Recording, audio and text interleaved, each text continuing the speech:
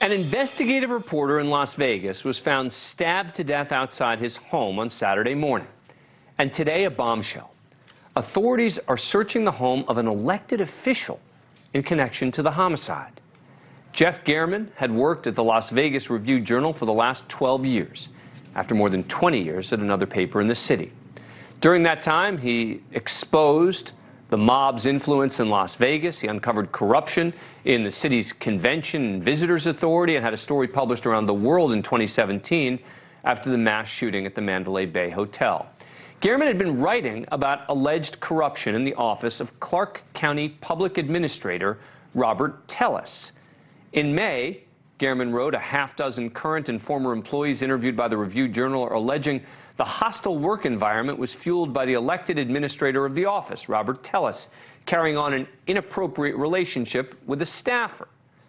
Telles, a Democrat, wrote a response on his campaign website referring to the Review Journal as a local right wing paper.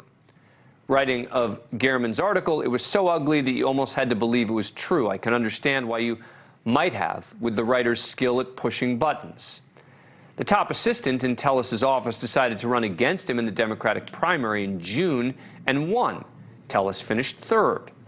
Then the reporter, German, was found stabbed to death on Saturday morning. Las Vegas Metro Police released video of a suspect and say the person dressed similar to those wanted in a burglary ring in the area, but the suspect is not part of the ring.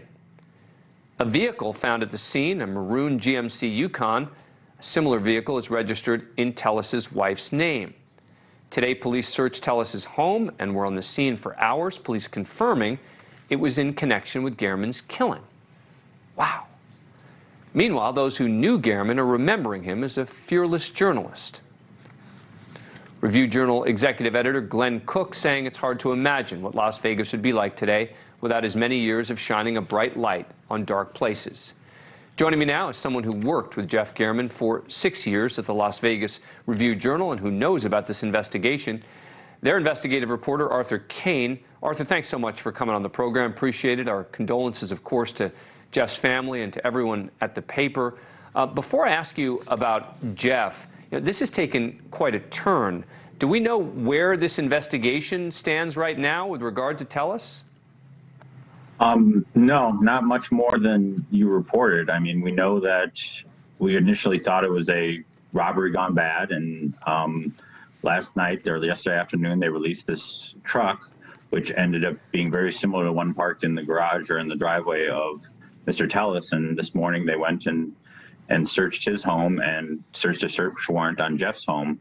So um, that's as much as we know. I mean, obviously Telles hasn't been charged or even arrested, but um, he isn't saying anything, so I, we don't know what's going on. Tell, tell me about that video of the person in the hat, et cetera, that it's the clothing matches someone involved in some sort of burglary ring, but they're convinced that that person is not involved in the burglary ring?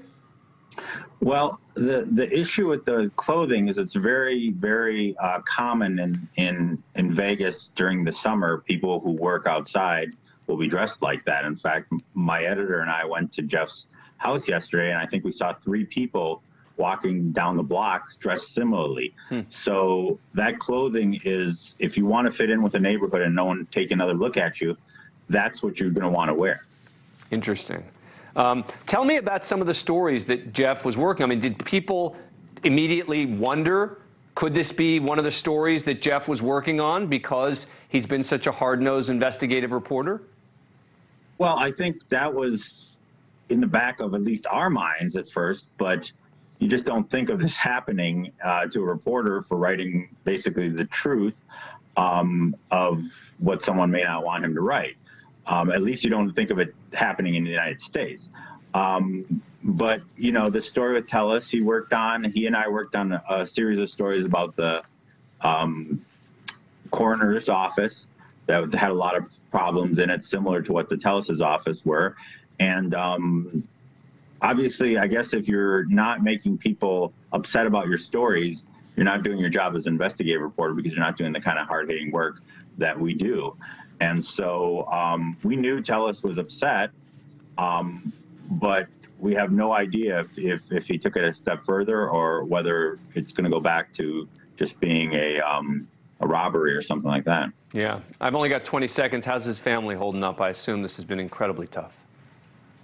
Yeah, I mean, he's he has no children and no wife, but he's very close with his siblings who all moved here um, to be around him. So I suspect that they are um, distraught like we all are. I mean, the whole newsroom is is taking this pretty hard. Yeah, I'll bet. Um, all right. Well, Arthur Kane, thank you very much for taking the time. I know it's not easy to Sure. to talk about this both as a journalist and then also as a friend, and so I, I do appreciate that. That does Thanks. it for us tonight. Thank you for watching. Go to newsnationnow.com to find News Nation on your cable provider. And don't forget to click the red subscribe button below to get more of News Nation's fact driven, unbiased coverage.